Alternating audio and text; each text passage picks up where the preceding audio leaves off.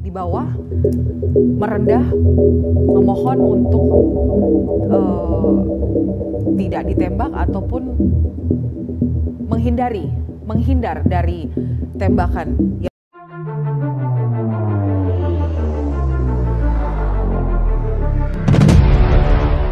Dalam kasus tewasnya Brigadir Yosua Tabarat Barat, sedikitnya ada 35 anggota Polri yang diduga melanggar etik. Tujuh orang sudah dijadikan tersangka obstruction of justice dan dua di antaranya sudah dijatuhi pemberhentian tidak dengan hormat atau PTDH.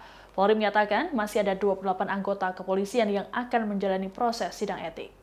Dilansir oleh Tribunnews, tujuh tersangka obstruction of justice adalah Ferdi Sambo, Brigjen Hendra Kurniawan, Kombes Agus Nurpatria, AKBP Arif Rahman, Kompol Baikuni Wibowo, Kompol Cuk Putranto, dan AKP Irfan Widianto. Dari tujuh tersangka, dua di antaranya yakni Kompol Baikuni Wibowo dan Kompol Cuk Putranto telah menjalani sidang etik.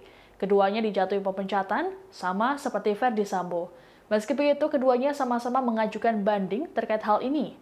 Ketujuh perwira Polri ini jadi tersangka karena melakukan perusakan barang bukti berupa ponsel dan CCTV di TKP serta menambah barang bukti.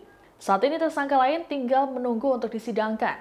Kadif Humas Polri Irjen Dedi Prasetyo dalam keterangan pada Jumat 2 September menerangkan, saat ini Polri masih punya agenda sidang etik terhadap 28 anggota kepolisian.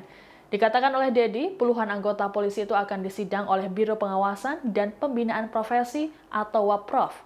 Dedi memastikan hasil sidang etik akan disampaikan ke publik. Hal ini sesuai dengan arahan Kapolri Jenderal Listio Sigit Prabowo untuk membuka kasus ini secara terang benderang. Yang pertama, kemarin kita gelar Kompol CP berlangsung kurang lebih sekitar 15 jam. Digelar juga untuk sidang Kompol BW.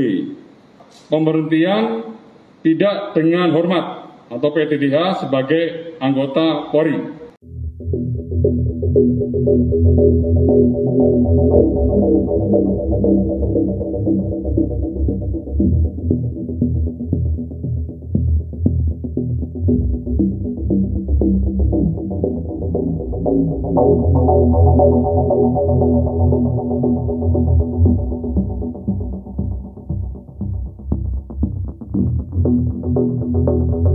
Thank you.